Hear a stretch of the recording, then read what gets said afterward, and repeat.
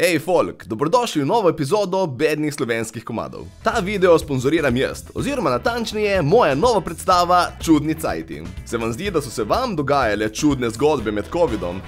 Čakajte, da slišite moje. Aprila z njo nastopam v Mariboru in Ljubljani, ampak če gre vse po načrtih, bom konstantno dodajal nove datume, tako da jih preverite na linku v opisu. Ok, zdaj pa video. Za to epizodo bednih slovenskih komadov sem se odločil, da se bom osredotočil na komade, ki pojejo o krajih. Izkaže se namreč, da je lokal patriotizem pri slovencih zelo močno čustvo, ki ga najrajši izkazujemo preko pisanja pesmi. Res, te komadi so kot slovenske občine. Ko vidiš, koliko tega obstaja, se kar malo vprašaš, kaj je to res potrebno? Prva pesem danes bo o mestu Kranj in se imenuje preprosto Kranj. Ja, domišljija 100 na uro. Izvajalec te pesmi je drugače, žal pokojen, tako da tukaj ne mislim nič slabega o njemu osebno. Ta komad se mi je zdel samo lep primer širšega lokalpatriotskega trenda.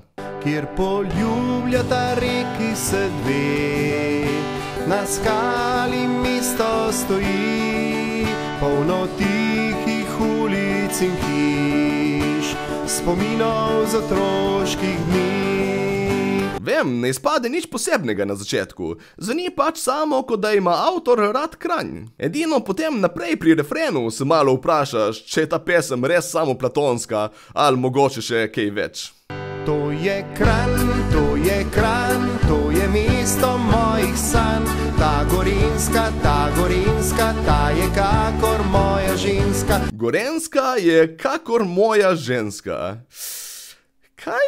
Mislim, to je za žensko malo čuden kompliment, kaj ni? Ona je taka kot Gorenska, ogromna, gosto poraščena in si jo delim z 200 tisoč drugimi ljudmi. Mislim, štekam, da se rima Gorenska in ženska, ampak kaj bi pol pel, če bi bil doma iz kje druge? Ta koroška, ta koroška, mi je lepa, kakor joška. To je tržič, to je tržič, za te trdi je moj tit. Jo bom ljubil čuval, in jo čuval veko maj, a na te ne bom pozabil, ti si moje mesto kran. Če je Gorenska kakor ženska, potem je kraj zgleda malo kot njen klitoris. Če jo imaš res rad, ne boš nikoli pozabil na njega. Uh, za gledalce pod 15 let je mogoče boljše, da ne googlete ta zadnji joke. Ne, ampak resno, pri tej pesmi besed ne izbirajo lih najbolj skrbno. Ako sem spustil se vate, tvoj dih me je uročil.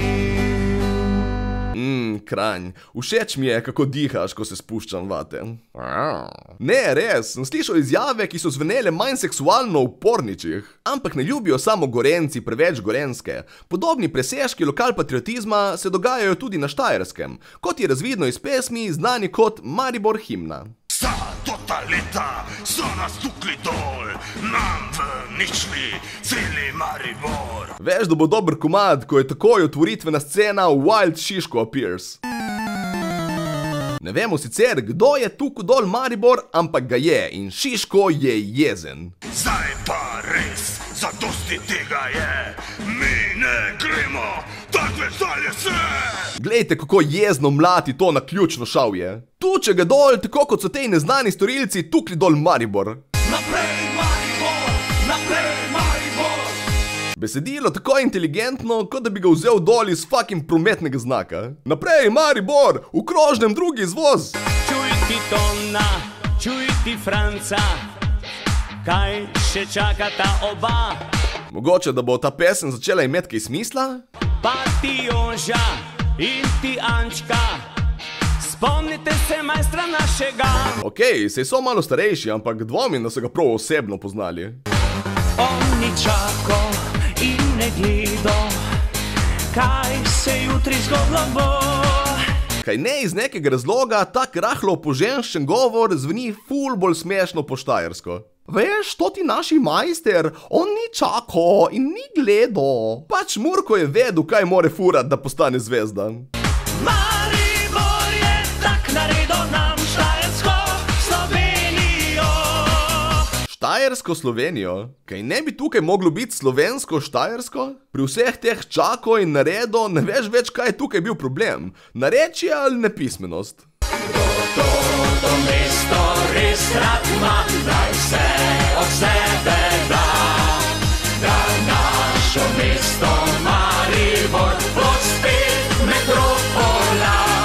Evo spet, našo mesto. Se trudijo biti metropolo, ampak govorijo pa bolj zahojeno kot študent strojništva iz Prlekije. Saj mi živimo vsak dan tu, naredimo kaj se da. Naredite kar se da, zakaj, da bi se drugi odselili. Ki na celem svetu je še kraj, kot tu pri nas doma. Ne, sej so še drugi lepi kraji okoli po svetu, samo malo več sreče imajo z reklamo.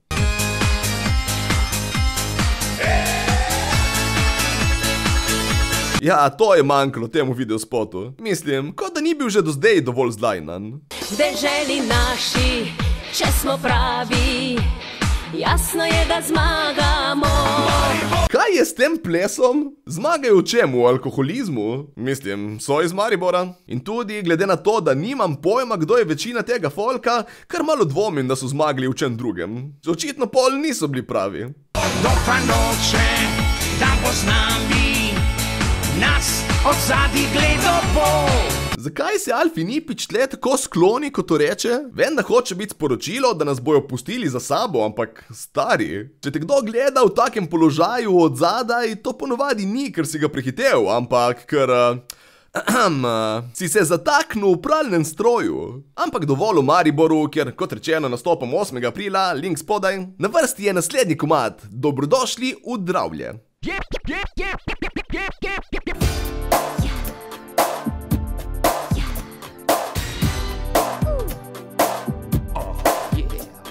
Se samo meni zdi, ali so tukaj snemali joške, kar eni od njihovih mam. Pač jebi ga, vse eno prsato bejbo moraš imeti v rep videospotu. In če so tvoje sošolke premlade, da bi imele kaj za pokazati pred kamero, bo pa mama.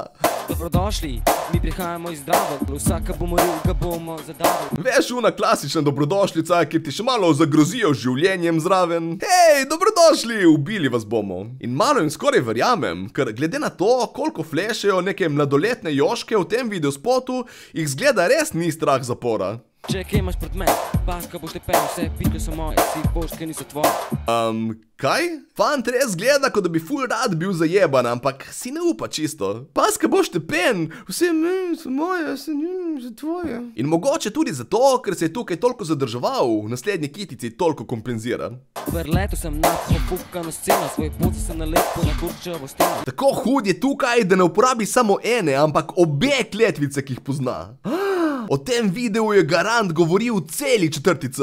Ja, vidiš, koliko se dela, ker repam, ker streljam, sceno rastura, vsakmu komadu je cenzura. Delam Vidim, kako se dela, ja? Tako da imaš vse čas na ekranu uro od kamere, kar mrtve frame v videu in zumiraš joške mladoletnih punc. Mogoče pa bi se mogel tudi jaz malo zgledovati po njemu, da še mojim videom dvignem kvaliteto. Delam, kar mi paše, nosim široke hlače. Pa ti si čisto divji, stari. Stvari se vedno delajo po vrsti, če mi ne verjameš, ti pokažem, da sredem prst. O moj bog, kiri gangster, govori grde besede, pokaže srednji prst. Vse, kar se manjka, da bi ta video bil res top, je, da bi pokazal še kaj talenta. En dan se fjakam z avtom v kol, Um, si mislil reči z biciklom? čist nalit, v glavi in buta alkohol. Si mislil reči sok? Z avtom se v drevo zabijem, v sezen se na tisto drevo poščijem. Edina logična reakcija, ko se z avtom zaletiš v drevo, ga poščiješ, da si bo zapomnilo, kdaj ti je kar skočilo na cesto. Drugače me pa sploh ne čudi, da ni mogel zadržati mehurja, ker meni je v bistvu kar cel ta video za se poscat. Zdaj, rep komadov v mestih je drugače še malo morje praktično, ampak se žal kar nekam ponavljajo. Glavne teme so vedno dve. Prva je ta, kako pri njih uživajo konopljo, Mi repamo, se nobenega ne bojimo, mi sam s pofukano vutro živimo. Nova Gorica, lekadi se skank in pa dobra domačica. Smarka dogaja v Velenju in koliko se tukaj zbaka, to ni več velenje šit, to je že Jamajka. Sem izolano, hitin dva G-ja v kano za Kar zanimivo, kako vsi izpostavljajo marihuano, ker res deluje, kot da mislijo, da je druge ni. Ej, ej, veste, kaj imamo pri nas? Travo in jo kadimo. Fak, jaz moram napisati komado temu, svet more zvedeti. In druga tema je pa seveda nasilje. Na mapi. Tukaj ne se španat, ker lahko dobiš šamar, kjer smo mi je galama. Vsi reperji v teh komadih kar malo brcajo naokoli, da bi pokazali, v kako nevarnem mestu živijo. Ja, brce in trava. Kakorkoli obrneš, od nečesa boš zadet. Res ti hočejo dati vedeti, da bo obisk njihovega mesta zate skoraj tako boleč kot poslušanje njihovih pesmi. Pri njih je očitno to dvoje tako razširjeno kot alkoholizem pri vaških metalcih.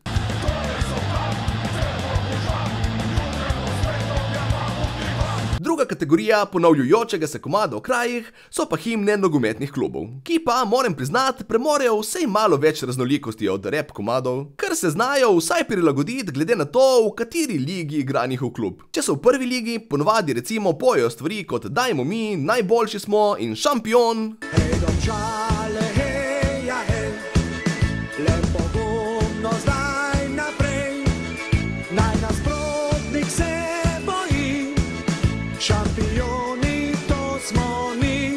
mi. Potem v drugi ligi prevladujejo bolj besedila kot mi vas imamo radi, tudi če ne zmagate vedno. Če zmagaš ali ne, zate damo vse, šampioni prek Murski.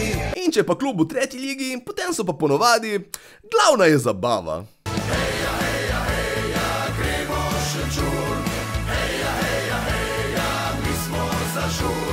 Hej, fantje, srečno na tekmi danes. Pridite potem povedati, kako je bilo, mi bomo za šankom. Drugače pa, vem, da je ta video načeloma namenjen bednim komadom o krajih, ampak jaz bi za na konec rad izpostavil še enega dobrega za spremembo. Enega, da vsem slovenskim glasbenikom malo pokažem, kako se pravilno napiše lokal patriotski hit. Tako da, dame in gospodje, tu je Mamba z obala je smeti. Pala je smeti.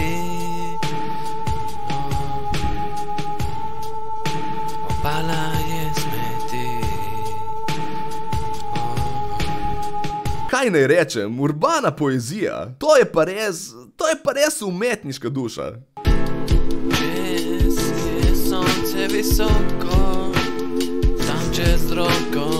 Besedilo je abstraktno, ampak hkrati tudi neverjetno domače. Uf, kako si je danes to sonce visoko, tam čez roko. Oke na kreku, vse za poket v žepu. Vse za poket v žepu. Stari, poket je žep. To je kot bi rekel, da bo danes za kosilo južna. Kakšno poigravanje z besedami, pač res je mojster. Ta obala je smeti, ker je pozna rizli. Vedno ista zgodba, nič se ne spremeni. Ostali komadi poveličujejo uživanje konoplje, tu jo pa avtor pravilno izpostavi kot neproduktivno slabo navado. In da pokaže, kako so droge slabe, še zapoje pesem, kot da jih je lih kar je mal. Obala je smeti, depresivne smeti.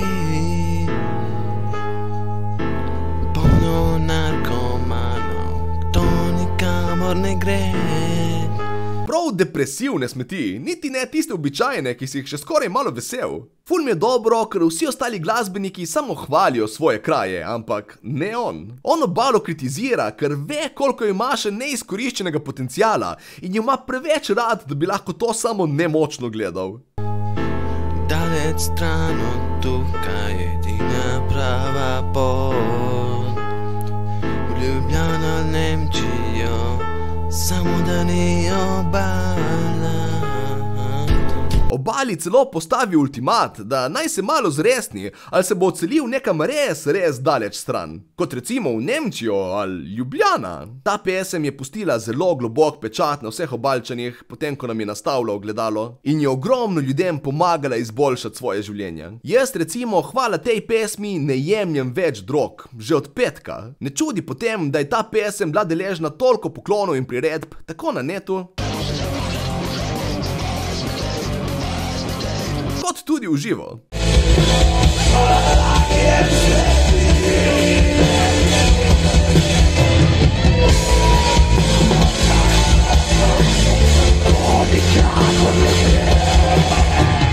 Pač, tako kot so naši stari starši imeli avsenike in naši starši Rolling Stonese, tako smo mi imeli obala je smeti. To je pesem, ki je zaznamovala generacijo. Ho, ho, ho, ho. Tudi moji predstavi sem najprej hotel dati ime Moj life je smeti v poklon temu komadu. Ampak sem se ustrašil, da bo izpadlo malo preveč pretenciozno, da upam primerjati sebe s tako mojstrovino, tako da potem sem rajši dal kar čudni cajti. No, odgovorim, kako so nam zadnje dva leta obrnile življenje na glavo, meni mogoče še malo več kot večini. Tako da, če vam je všeč to, kar delam, je ne zamuditi, ker bi moglo biti kar smešno. A ja, je pa notri precej črnega in eksplicitnega humorja, tako da za otroke je ne priporočam lih najbolj. In to je bilo vse za danes. Lajkajte ta video, če vam je bil všeč, in naročite se na moj kanal, če bi jih radi več.